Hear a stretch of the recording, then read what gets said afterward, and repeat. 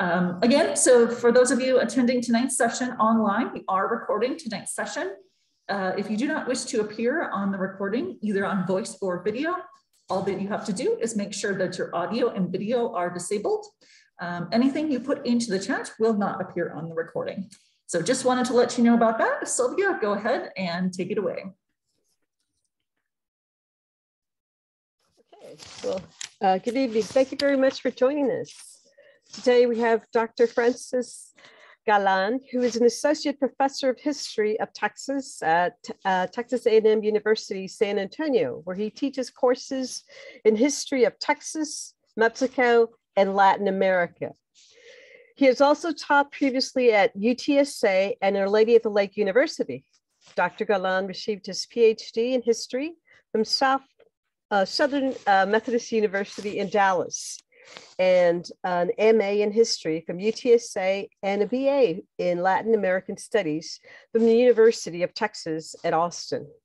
His book, Los Adaes, the first capital of Spanish Texas, was published in 2020 by Texas A&M University Press and is a finalist for the Ramirez Family Award for the most significant scholarly book from the Texas Institute of Letters. Among Dr. Galan's research interests are questions that revolve around the formation of borderlands, trade, and identity. He is originally from South Texas and is married to Dr. Emma Mata Galan from Laredo, and together they have two children, Nicolas and Madison. So now I am going to turn it over to Dr. Uh, Galan. All right. Thank you very much, uh, Celia, for that wonderful introduction. Hello, everybody. I'm going to go ahead and try to share my screen with you here. And so you should be able to see that now. I'm going to go ahead and make that a little bit uh, larger here. And so you should be able to see that in a larger screen view. Hello, I am honored and privileged to participate in the 10th annual Holocaust Learn and Remember series, hosted by the San Antonio Public Library and this year's theme of immigration and refugees. This presentation focuses on uh, Sephardic Jewish history that is largely overlooked in the Spanish conquest of the Americas and our own identity as Hispanics today.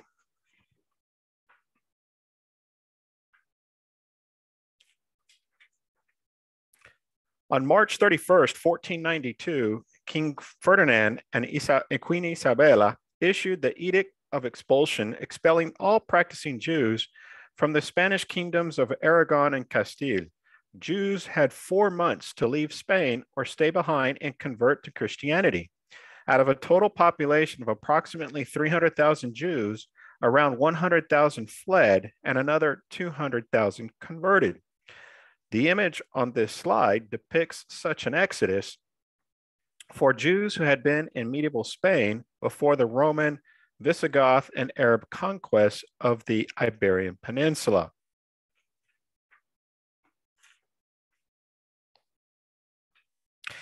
And so some of the questions we consider for this presentation is why expel the Jews? Where did they go? Who were some of these so-called crypto or hidden Sephardic Jews? What impact did the Mexican Inquisition have upon society? And lastly, the significance of learning about Sephardic Jewish history.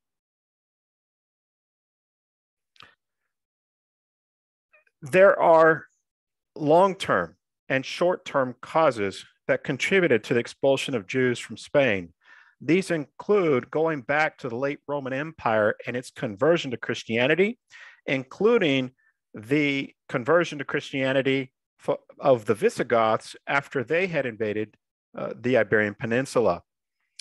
There are also reasons of political and economic instability, basically prior to the 200 years prior to 1492.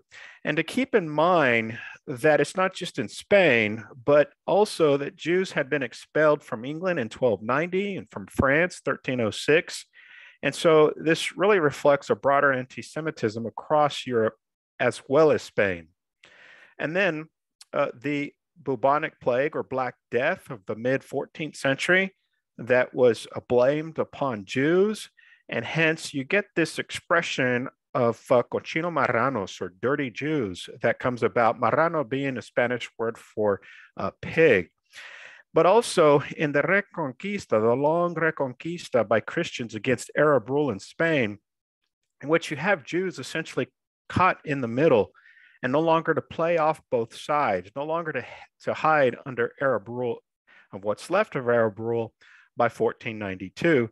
And then lastly, the unification of Spain, these various Christian kingdoms, especially following the marriage of Ferdinand and Isabella in 1469, and the fall of Granada in January, January 1st to be exact, 1492, which ended uh, Arab rule of Spain. And so these causes also reveal the ebb and flow of violent conflict that have overlapped with the notion of convivencia or peaceful coexistence among Jews, Christians, and Muslims in Spain. The term Sephardim, which includes those Jews expelled from Spain and their descendants over the past 500 plus years, comes from the Hebrew word for, for Spain, uh, Sefarad. In her book, The Jews of Spain, A History of the Sephardic Experience, scholar Jane Gerber states, at the heart of Sephardic self definition lies the memory of a Jewish golden age of philosophy, poetry, and science in 10th and 11th century Andalusia that predates the Spanish golden age by 500 years. Gerber adds that Sepharad also denotes the reality of a degree of integration unknown elsewhere in medieval times. Only in modern Germany and the United States have the surrounding cultures been as beckoning to the Jew. Sephardic Jew- Jewry is unique in that it emerged from the fusion of several civil- civilizations that included the major faiths of Christianity, Judaism, and Islam. However, as you see uh, depicted in this image, the formal establishment of the Holy Office of the Inquisition in 1478 which was meant to stamp out heresy and to rid Jews of uh, Spain of Jews, reflected this crusading zeal of conformismo, or conforming to the majority, along with the Reconquista, especially since the 11th century. Growing intolerance included such restrictive laws as Christians and Jews forbidden from living or eating among each other, a ban against intermarriage between Christians and Jews, the wearing of a distinctive Jewish badge, a particular garment, whether robe or hat, usually of a yellow color, and Jews forbidden to carry Christian names. Also, pogroms and anti Jewish riots across Spain in the late 14th century evoke images of the horrific Kristall Night or Night of the Broken Glass in Nazi Germany of the 20th century.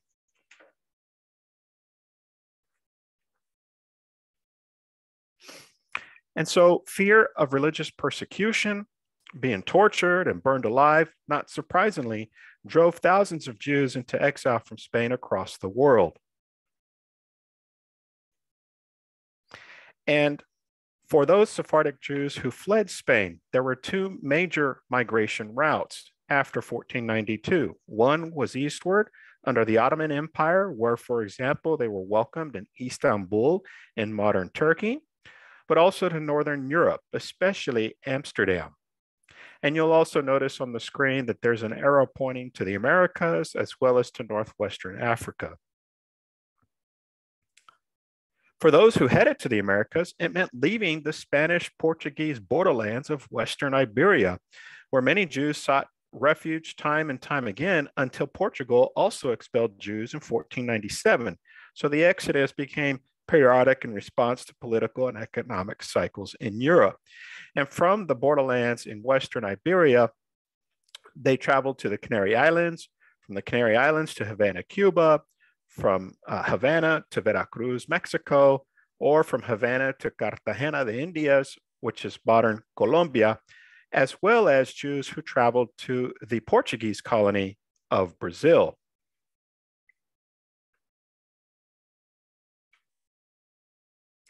Jews also went to the colonies of Spain's European competitors. especially the island of Curacao, which is a Dutch colony in the Caribbean near the coast of Venezuela and engaged in a lot of contraband trade uh, in that borderlands, if you will, but also the island of Jamaica in the Caribbean, which was formerly Spanish, Jamaica, which is actually a, a fruit drink in, in the modern day, um, but then uh, taken by the English. And of course, also uh, Jamaica became a center of contraband trade in the New World, as well as New Amsterdam, which was the Dutch colony later taken uh, and becoming New York after the Anglo-Dutch Wars of the late 17th century. We just don't know the exact number of Jews who lived in the Americas, particularly because they mostly kept any semblance of Jewish culture secret. Following their arrival in Mexico, Sephardic Jewish history can be divided into three periods from the discovery to the conquest, 14 1519. From 1519 until the establishment of the Inquisition Tribunal in New Spain or colonial Mexico in 1571, and from 1571 to 1810, during which the tribunal functioned. There were also two kinds of so called conversos Christians of Jewish ancestry who arrived in the New World. First, Christ, uh, Christ, uh, crypto or hidden Jews, also derogatorily called marranos, who continued their tradition in secret and looked for a better economic situation and a way to evade persecution of the Inquisition's tribunal. The other group were those who genuinely converted and assimilated, but hid their origin and blood impurity. One of the best secondary works on the topic of Sephardic Jews in New Spain is scholar David Gitlitz's book, Living in Silverado Secret Jews in the Silver Mining Towns of Colonial Mexico, published in 2019. And so you had a couple of waves that went to Mexico. Uh, the first wave in the 1530s, not long after the, uh, the conquest over the Aztecs in Tenochtitlan, as well as a larger wave that came later in the uh, 16th century, especially after the political union of Spain and Portugal in 1580.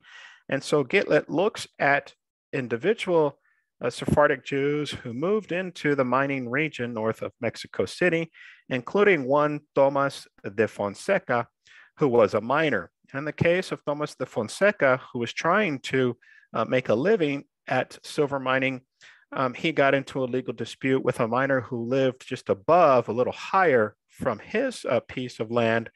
And uh, there was uh, a legal battle over uh, access to water. And he was accused of being Jew. And so it was a way of trying to uh, get at a competitor uh, by accusing them of a Jewry. And you have, especially in that larger second wave, um, a movement even further into northeastern uh, New Spain or colonial Mexico and the establishment of Nuevo León. And so Gitlitz notes how during the first 50 years of colonization in Mexico, there's little evidence of any community of Judaizers, and that by the early 1580s, after that political union of Spain and Portugal, communal Judaizing became possible with the appearance of greater numbers of conversos, many in family groups. Among the surnames of those who arrived in 1580 and organized into an expedition under Governor Luis de Carvajal y de la Cueva were Núñez, Matos, De León, Pérez, Morales, Munoz, Enriquez, and later that same decade, other Sephardic surnames, including Mendez, Rodriguez, Fernandez, and Lopez. Meanwhile, the Spanish Inquisition expanded with branches established in 1570 in Lima, Peru, 1571, as we noted, in Mexico City, which also exercised jurisdiction over Spain's Asian colonies because it's too easy to forget that you had the connection between the port of Acapulco and the establishment of Manila in the uh, Philippines, as well as in 1610 in Cartagena de Indias, as we mentioned, modern Colombia. Across the Spanish Empire, Judaizing conversos were being arrested, tortured, their property seized, and some publicly burned or in effigy. Among the alleged Judaizing activities, for example, that Tomas de Fonseca was charged with included sometimes observing the Sabbath, making certain his house, table, bed linen, and his body were clean, observing Yom Kippur and the fast of Esther, as well as having his meat slaughtered and trimmed in the kosher fashion. One witness said he never saw Fonseca eat a piece of salted pork. To escape persecution in central Mexico, many conversos sought refuge on its northeastern frontier in what became the province of Nuevo León, pioneered under Luis de Carvajal. And uh, Carvajal's uh, father had come from the uh, Portuguese Spanish borderlands in Western Iberia. He had come to the New World through the route that I had mentioned in the previous slide. And it's interesting that you had many Sephardic Jews who had settled in and around Monterrey, Nuevo León, and how Carvajal then essentially would have blazed this trail of settlement into northeastern New Spain along what we know familiarly in Texas as the Camino Real. And this extended into Texas and to northwestern Louisiana, which became known as El Camino Real de Tierra Afuera, or land to the outside. And basically, that route, and you see it depicted in the, uh, in the map here, you had three principal, principal routes to northern New Spain. The first one was the central corridor that went all the way up to Santa Fe, New Mexico. The one to the northeast that went all the way, as I mentioned, into uh, northwestern Louisiana. And then one later in the late 18th century that went all the way up into Alta California or Upper California, all the way up to San Francisco.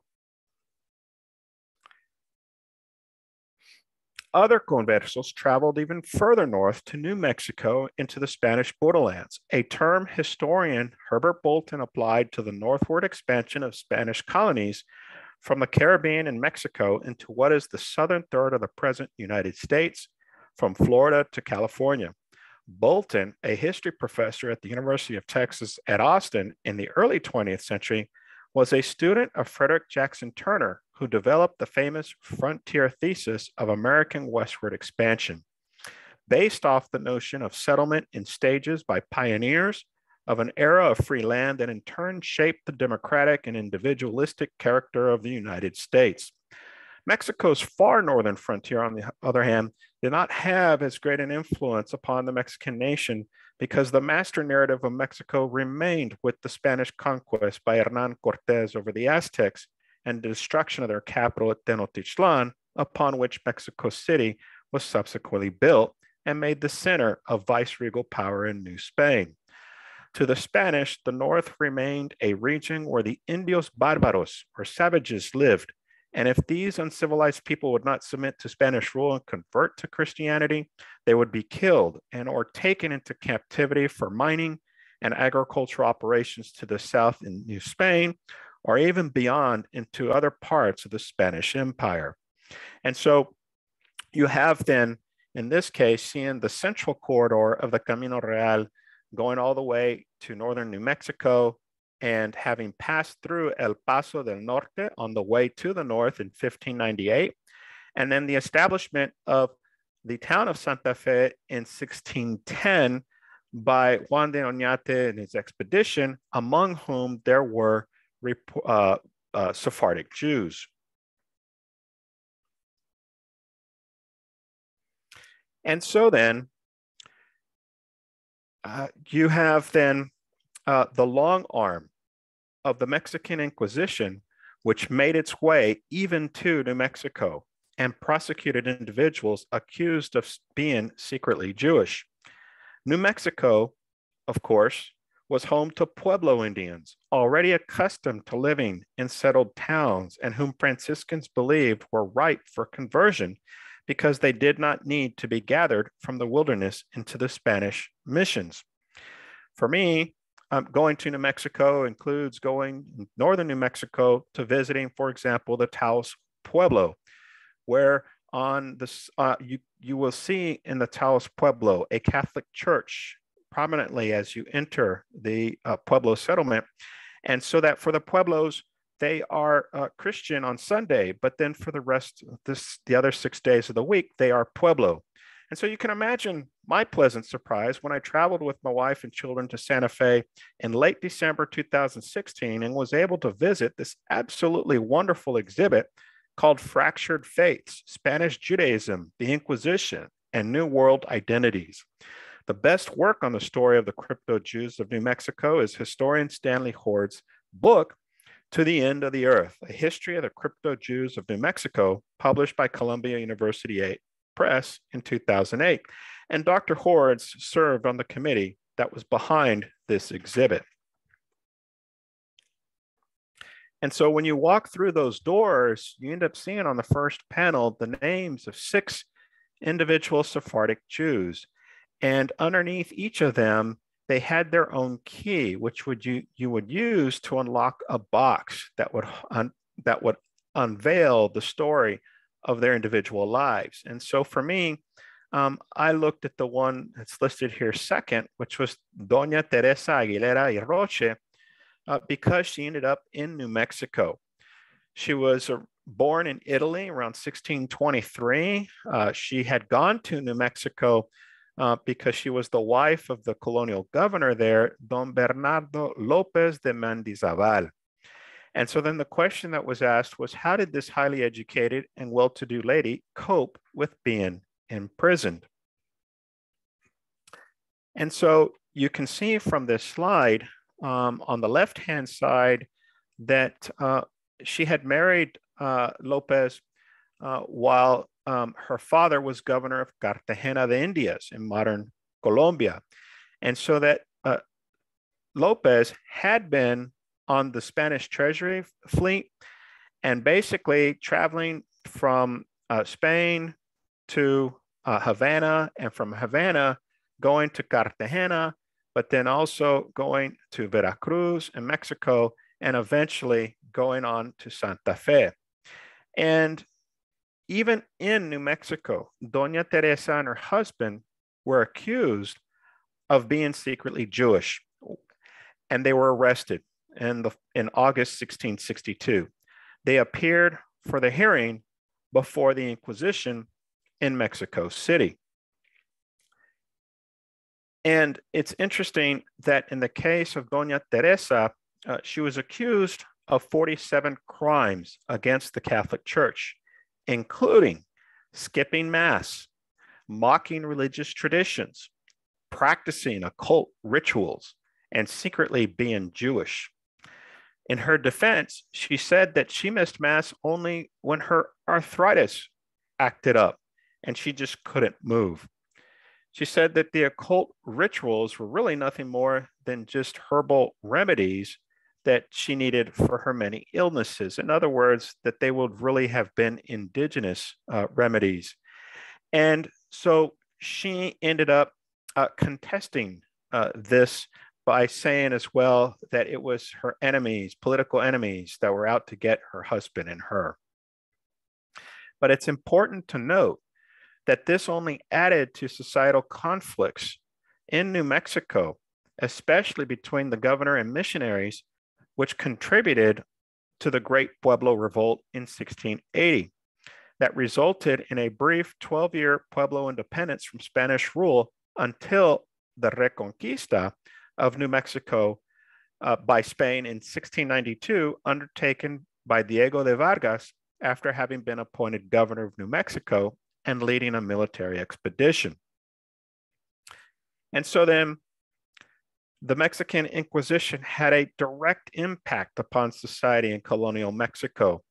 Among just what you can imagine in terms of uh, being tortured and burned alive, um, families being destroyed, just the sheer fear and anxiety that the institution is present, and suspicion on the part of neighbors. And if I'm not mistaken, the image on the right is artwork uh, from a mural by Diego Rivera, uh, certainly Mexico's most famous artist, along with his wife and fellow artist Frida Kahlo. And it's, uh, and it's painted in the kind of uh, um, style of Diego Rivera. And so then one of the most comprehensive works on the Mexican Inquisition is historian Maria Elena Martinez's book, Genealogical Fictions, Limpieza de Sangre, Religion and Gender in Colonial Mexico, published by Stanford University Press in 2008. She examines the rise of categories of limpieza de sangre, or purity of blood, in late medieval Castile and its export to the Americas, where Martinez argues it eventually took on a life of its own and produced by the 17th century a hierarchical system of classification in Spanish America known as the Sistema de Castas or caste system, ostensibly based on proportions of Spanish, indigenous, and African ancestry, a category Spaniards first deployed against Jewish converts to Christianity, the conversos, or, or new Christians. She states that by the middle of the 16th century in Spain, descent and religion, blood and faith were two foundations of an ideology based on only having Christian ancestors and thus pure lineage, which would become true in Spanish America. Blood purity in Spain meant the absence of Jewish and heretical antecedents that by the mid 15th century saw conversos increasingly deprived access to certain institutions and public and private offices, especially after the founding of the Spanish Inquisition, which also was extended to descendants of Muslims and referred to as Moriscos, Christians of Islamic origin.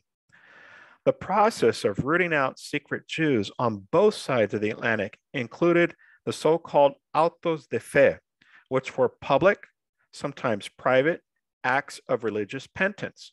Public autos, Martinez notes, became elaborate spectacles involving inquisitors, royalty, and large audiences, featured a procession to the square and stage where they were held, a mass and a sermon, and a reading of the crimes of the accused.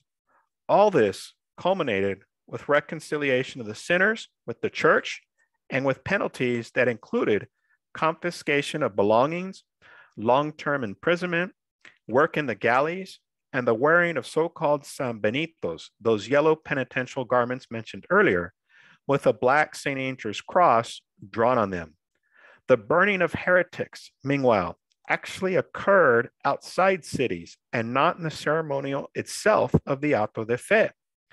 However, Martinez argues the execution rate of the Inquisition was not as high as previously believed, especially when compared to secular tribunals in Spain and broader Europe. And in fact, most sinners were burned in effigy. That's something that uh, Gitlitz corroborates in his book that many of the first and second wave uh, were burned in effigy, while some Sephardic Jews actually even fled Mexico City and, uh, and went back to Spain or, or to Europe um, for that matter. Still, the most extreme punishments were reserved for conversos and moriscos. The same process applied to conversos in New Spain, especially after the establishment of the Inquisition in Mexico, including the Fonsecas and Carvajals. And so over time, Spaniards in colonial Mexico eventually linked the concept of limpieza de sangre to physical appearance, especially due to the presence of Indians, Africans, and Asians. And this mestizaje or the mixing, intermixing of various racial and ethnic groups. And in fact, uh, in the 18th century, the idea of mestizaje coincides with the uh, scientific racism, if you will, and mestizaje, which referred to the, um, the mixing, um, uh, breeding of uh, various animals and uh, seeds uh, taken from the New World.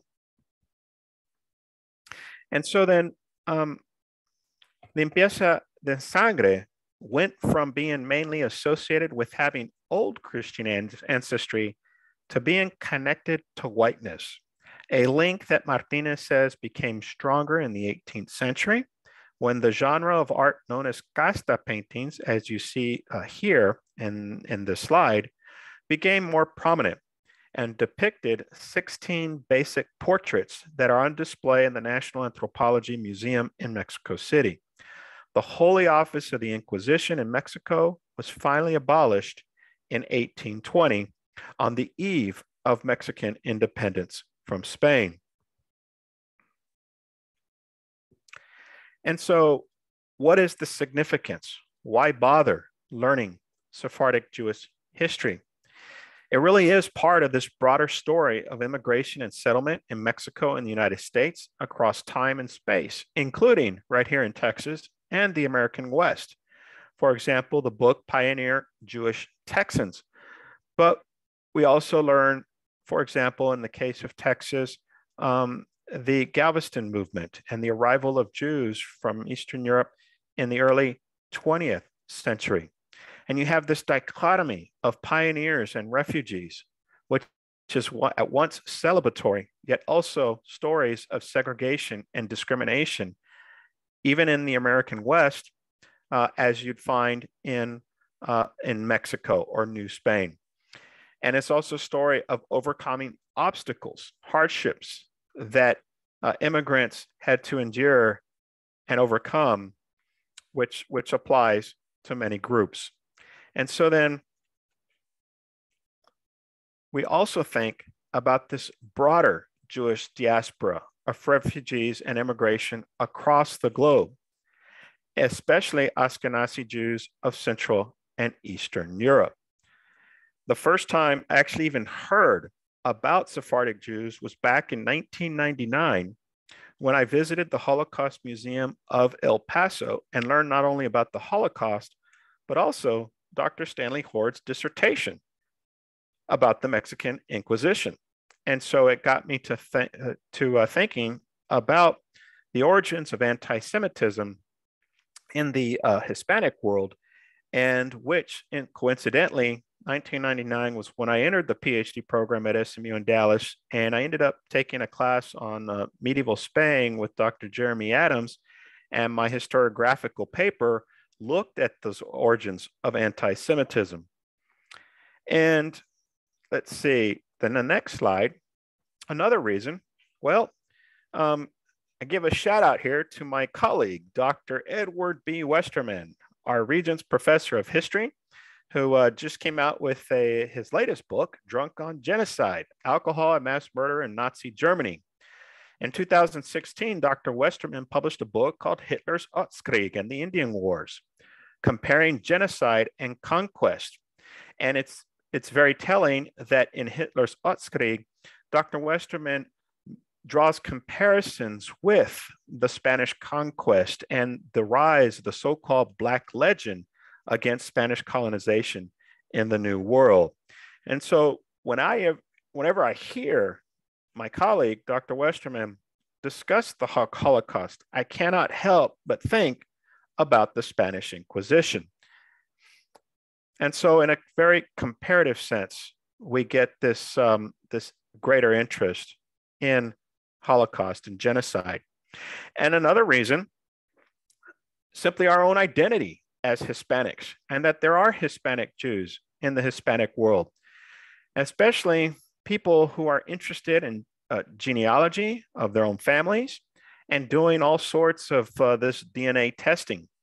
In my case, um, in the summer of uh, 2018, I uh, took the wife and kids to uh, finally visit my uh, mom's family in Spain. And in, we took a, a bus tour from Madrid to Toledo.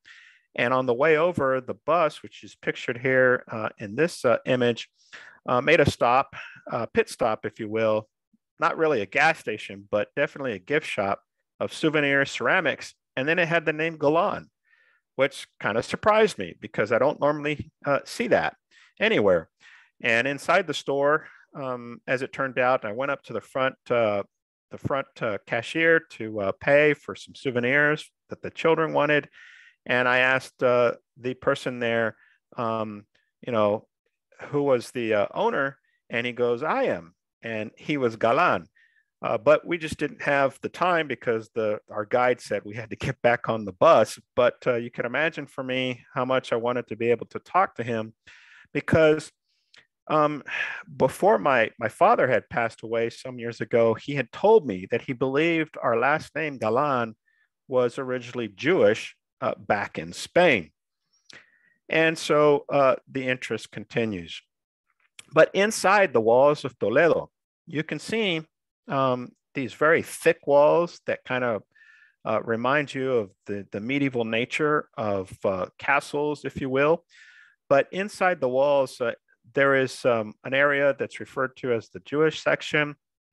And they have these markers on the side of the wall or sometimes on, on just on the, the street itself um, that uh, are, reminders that there was this Jewish presence.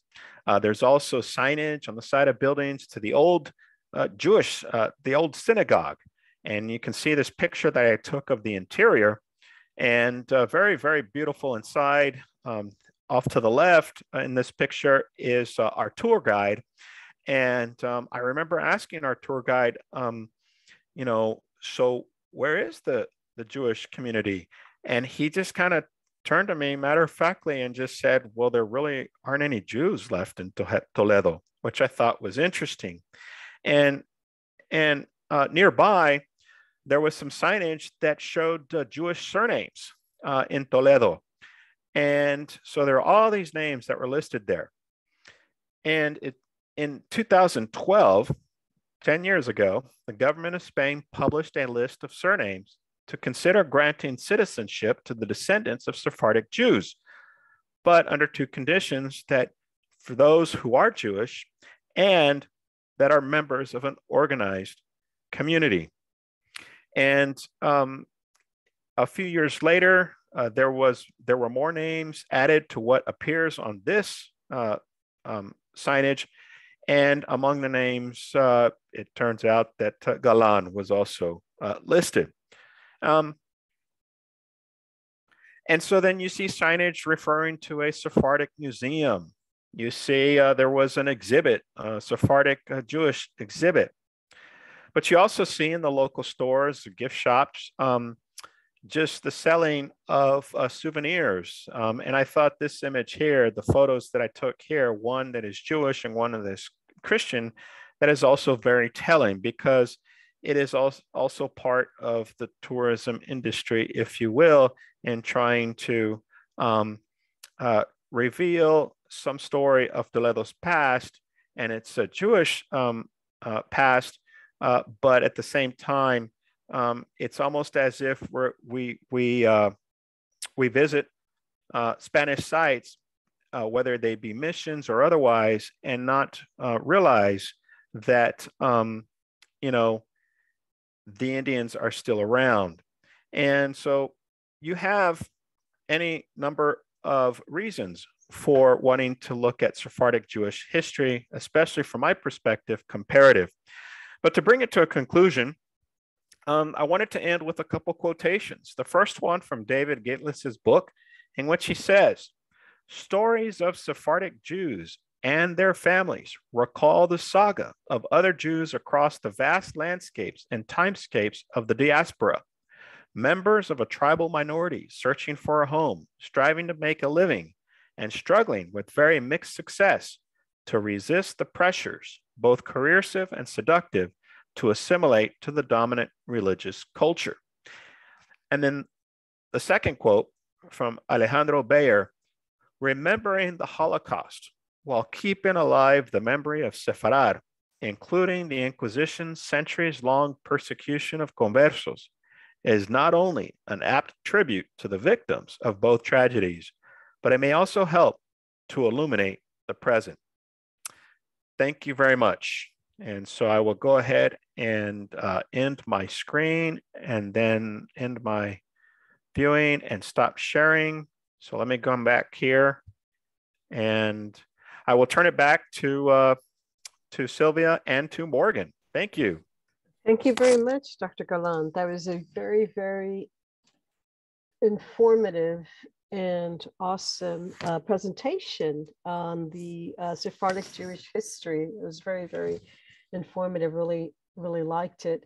I don't see any questions on the chat. Does anyone have any questions? Morgan, oops, Morgan, it doesn't look like there's any questions on the chat. Are there any questions at the Landa Library? Yep, I'm working on collecting one. Give me just a minute.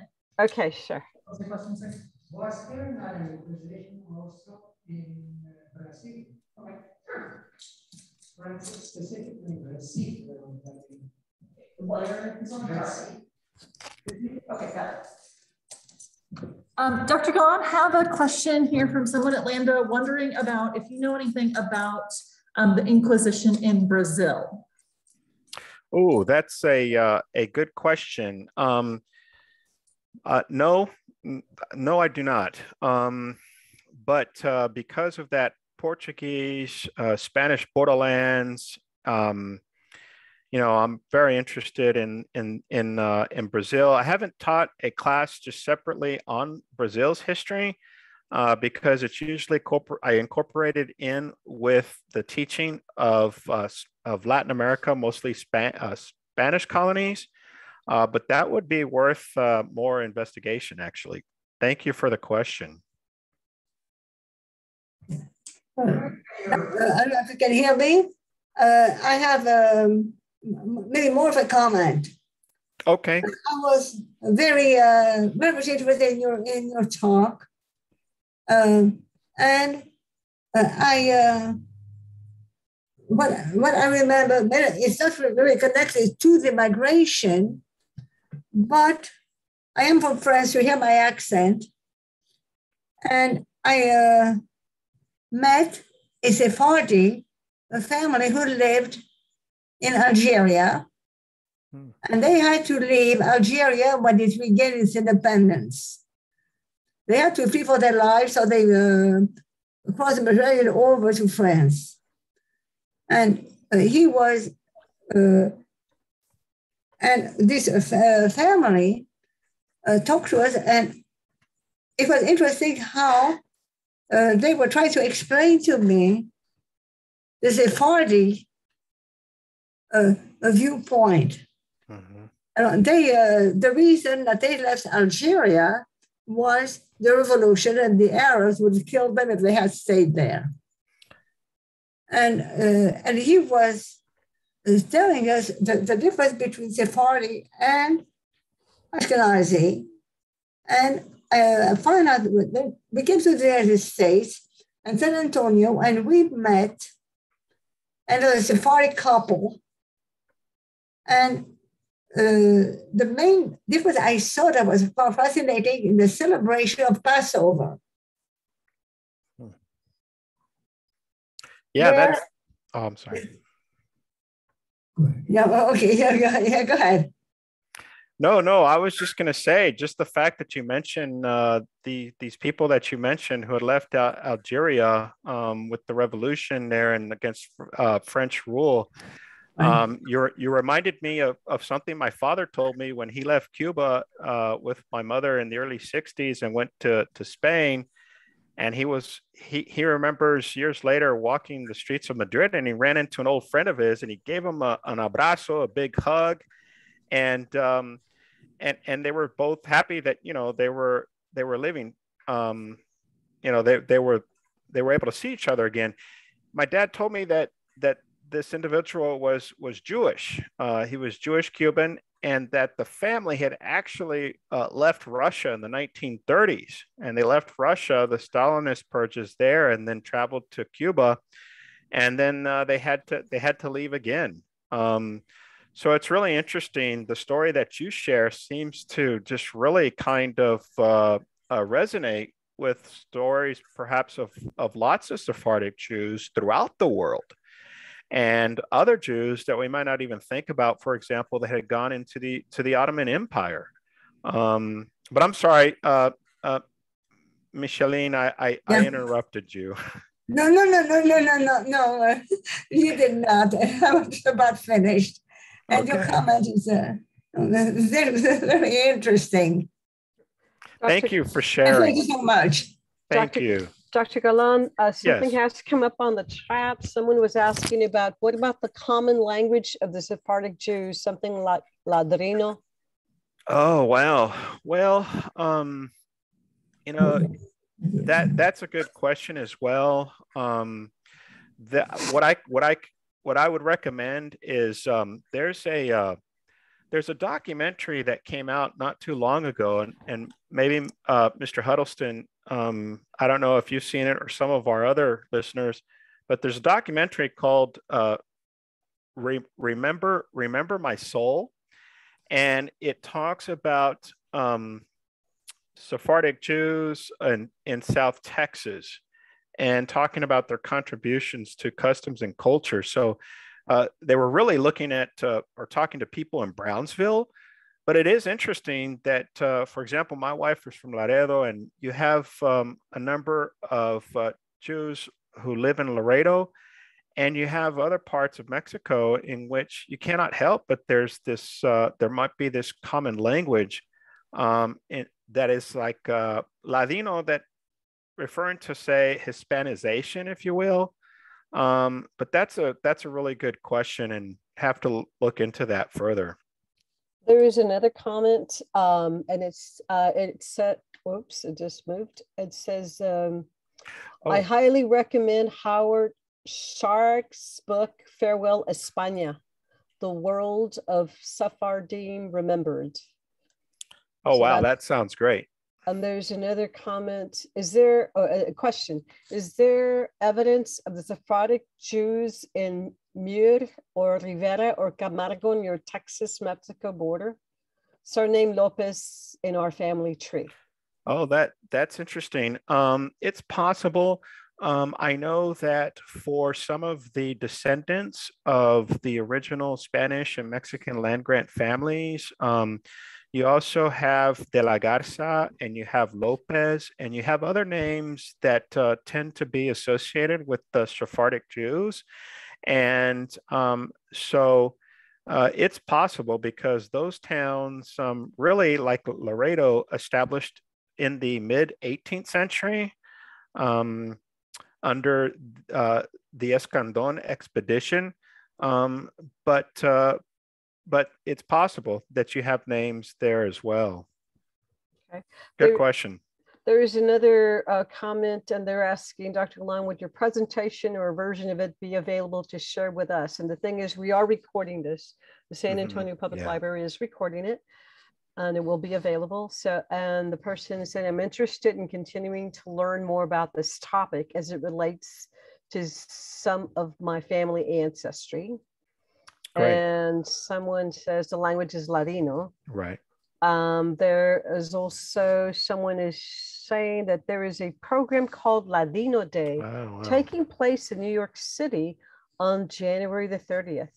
Oh, um, awesome. So that is interesting. Thank you for letting us know about that. Yeah, especially um, uh, Sarah, Sarah, and Sarah's comment uh, and Ron's uh, comment that uh, go back to um, uh, Frank Huddleston's uh, question about common language and Ladino. Are there any more questions?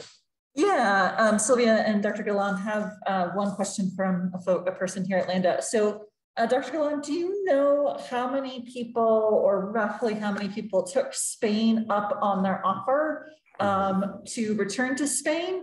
Um, the person is saying that they it's their understanding that in order to go back to Spain, you had to give up your current citizenship. Just wondering if you um, knew any information about that. No, supposedly that program just recently ended, and um, it might have been geared towards especially um, Sephardic Jews uh, in the Middle East. Um, but uh, but to my understanding, um, I I I was thinking it, of it in terms of dual citizenship, like we have uh, with Mexico and the United States, for example. Um, but don't quote me uh, on that um, because that's something that you would definitely want to uh, to verify. Um, and uh, and so um, just just that whole notion, for my purposes, of offering uh, this uh, citizenship uh, 500 years, you know, more than 500 years after the expulsion um, is just quite fascinating because it also speaks to uh, the question of apologies for the Spanish conquest over the indigenous peoples. And so there's this kind of uh, parallel um, uh, working here um, that offers some really cool comparative history. But thank you uh, for that question. Um, okay, anything else that any other questions that any folks might have? Uh, someone is saying there are wonderful songs and liturgical music from the Ladino culture. Mm -hmm. No additional questions here at Landa. No more questions. Go ahead, Dr. Galan. No, I was just going to say, and that was coming from Sarah again, who was making reference to the Ladino language. Okay. Okay, sorry, I'm sorry about that. Uh, yes, um, just wanted to just tell you thank you so much. Uh, that was brilliant. There are lots of uh, very interesting information. Thank you for joining us today, Dr. Galan. And um, if anyone else has anything else, uh, someone, oh, someone just put try Yazim and they're questioning the spelling Levy's songs. Thank you, Les. Okay, anything else? Anything else, Morgan? Uh, nope, other than uh, Dr. Galan, can you stay on for just a few minutes after we wrap up the okay. presentation? Um, have someone here at Landa that has some more detailed questions. So, um, all right. Yep. So if you wouldn't mind staying on, but Thank yeah, you. Other, other, than that, comment. Okay. Thank you.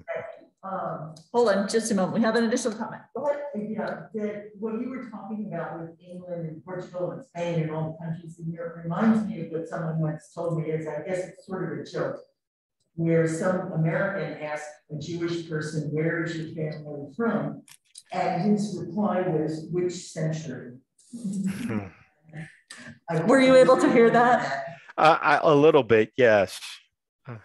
uh, yeah, so just the joke about, you know, folks that are from so many different places getting the question of, uh, you know, where is your family from? Uh, and the answer being which century? Um, you know, just getting yeah. that some folks, uh, you know, that in a lot of cases our, our family heritage is so diverse that answering the question, um, where is your family from is, is can be a complex one for sure. Yeah. Definitely. So yeah, I appreciate that. Um, yeah, no, otherwise nothing else here. So yes, thank you so much, um, Dr. Galan, for your presentation tonight. It was very, very interesting. So Really appreciated Thank it. Thank you very much, Morgan and Thank Sylvia. You. Thank, Thank you, everybody. Thank you, everyone, for joining us for uh, the Holocaust Learn and Remember. Really appreciate it. Thank you, Dr. Galan.